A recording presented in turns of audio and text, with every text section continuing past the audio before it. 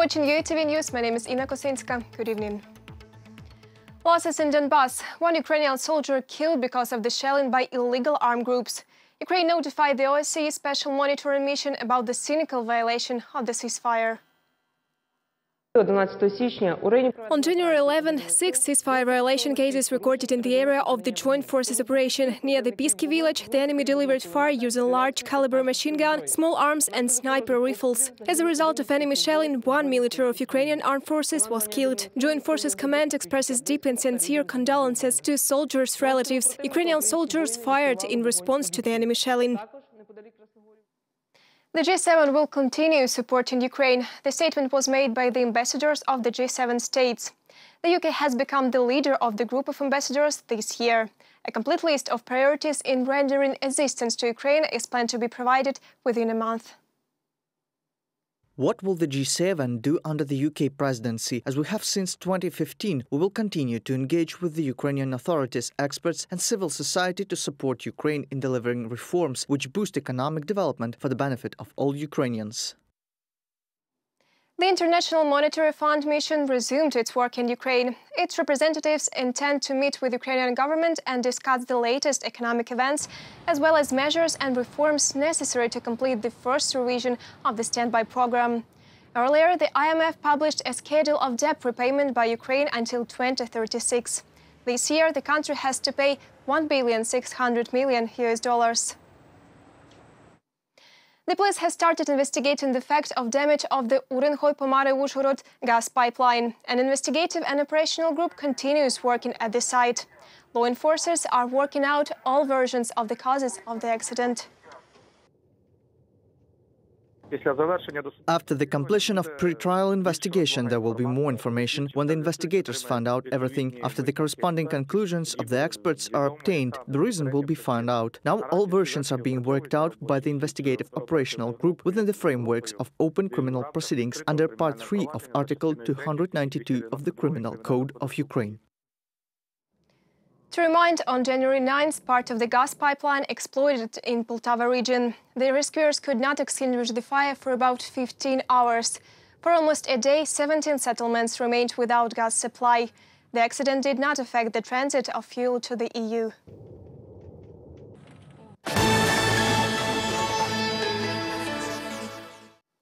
Health Minister Maxim Stepanov called tightening of quarantine from January 8 to January 24 a strategic decision.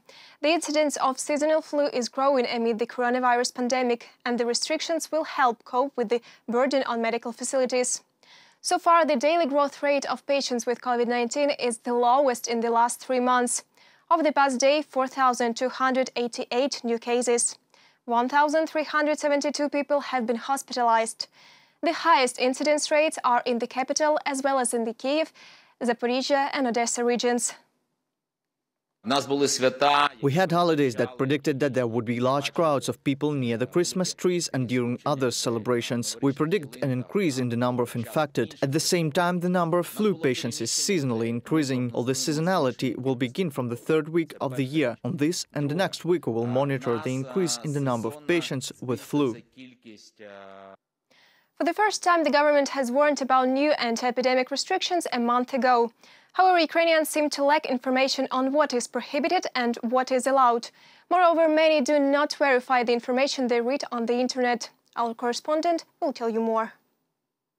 Do not go outside without need, to wear masks and keep distance. This is what most of people remember about the quarantine rules. Some places have their own rules. That is only walking in a mask and social distancing. You can't go shopping, or rather not, you can't go to shops, you can't just walk down the street. I don't watch TV and I don't know what lockdown is. However, some have studied the list of restrictions that will be valid the following fortnight. Gyms are completely banned. All entertainment centers are closed. Grocery stores are allowed. Shopping centers, entertainment centers and other stores are closed. Ukrainians were angry with inconsistencies concerning the restrictions of sales. They wonder why are sales of non-food products banned while they're standing right on neighboring shelves with food. The Minister of Health explains that the fewer products are available, the fewer people are in the store. These quarantine restrictions were not invented by President of Ukraine, Prime Minister or the Minister of Health simply because they wanted to. These norms were developed taking into account the opinion of leading Ukrainian epidemiologists and infectious disease specialists as well as in accordance with international experience. Until the 24th of January, public transport in cities, intercity and international travels are allowed without any restrictions. Banks, post offices, hotels, gas stations, hairdressers are working as well. Sports events of professional clubs can be held without audience. Sales of food products, household chemicals, press, medicines, veterinary drugs and animal feed are allowed. The work of educational institutions, except for kindergartens, is prohibited. Restaurants, cafes, and bars are takeaway only. Shopping and entertainment centers and non-food markets markets, sports clubs and swimming pools are also closed. Mass cultural events are prohibited. However, ignoring of the quarantine rules is not as surprising as the wide range of fakes about the pandemic. We have also learned some examples of folk creativity. Probably there were some other laboratory experiments and it was just released into crowds. I don't know about China, America or Bill Gates. The virus is alleged to control the masses. There are lots of people in China and they want to get rid of pensioners. Why do people believe those fakes, given there is a lot of reliable information about the coronavirus?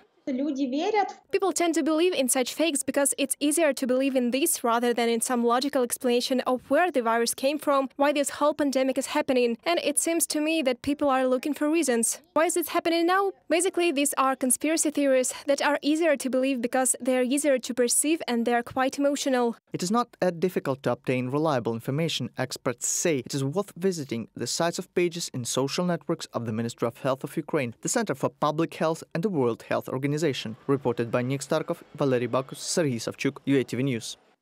Chilling methods of strengthening of one's immune system. Kiev ice swimmers plunge into the Dnipro in any weather. They say this is not only invigorates, but also helps to fight diseases. Our journalist knows more about winter swimming secrets.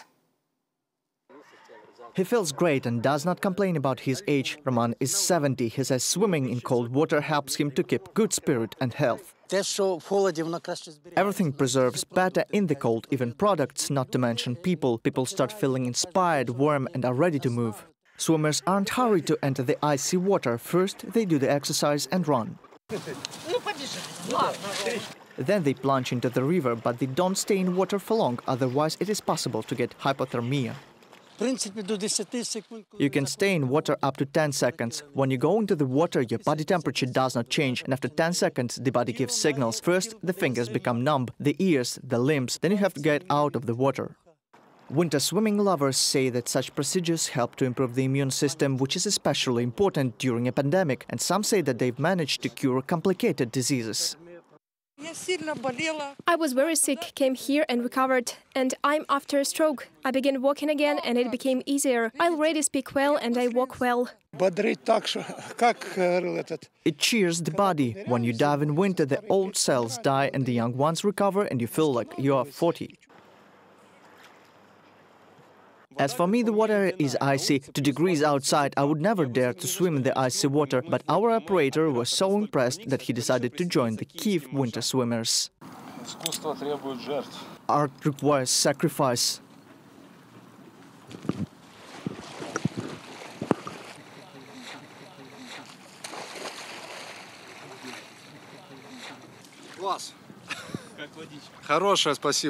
The water is good. I wish everyone health. To keep oneself in good shape, winter swimmers advised to take a dip once or twice a week, regardless of the season. Reported by Nick Starkov, Artem Golub, UATV News. Ukrainian Yulianna Tunytska won the bronze medal of the European Tobogganing Championship. An athlete from Kremenets competed in the category up to 23 years in the single sled discipline. The Continental Championship was held in the Latvian city of Sigulda. The first time, the traditional Odessa Christmas tram parade was held without passengers. The decorated transport traveled along two 20-kilometer routes. The drivers and conductors were in the costumes of traditional holiday symbols. An Orthodox choir sang in the salon. Their carols were heard in the streets through loudspeakers. The parade was attended by two 30-meter trams. A year ago, they were assembled by employees of the Odessa State Enterprise of Urban Electric Transport. Since then, the transport has been running on the city roads. I want to cheer up people, even if the weather is not that cheerful. Still, I want to please them, even during quarantine. They depart from the depot number 1 along the tram road 26. It will reach Luzdovska station, turn around and go into the opposite direction. The end point is Starosinna Square. Children will be given sweets and gifts. That's all for this hour. Thank you for watching UATV News. Goodbye.